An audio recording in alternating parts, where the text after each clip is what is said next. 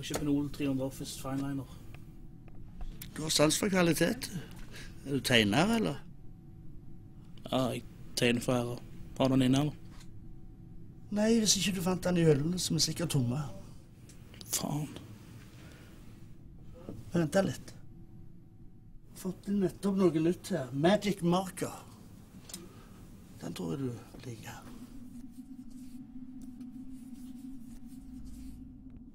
Ikke helt den pennen jeg leter etter. Du kommer til å like den. Garantert. Ok. Men uh... Du kan få den gratis med deg. Mot at du kommer innom til meg og forteller om du var fornøyd med den eller ei. Ja, sleng oppi, du. Så er vi 50 kroner for blokka. Så du jobber for avis og tegner, du. isn't.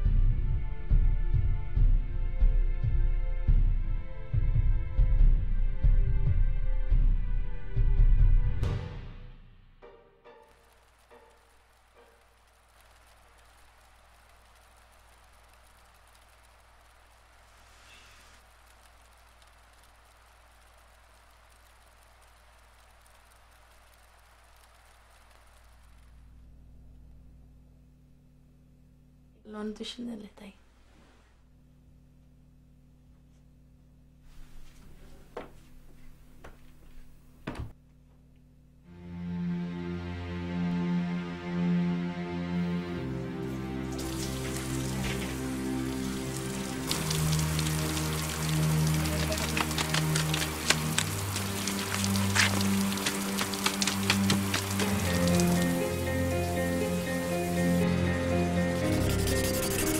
Fitte!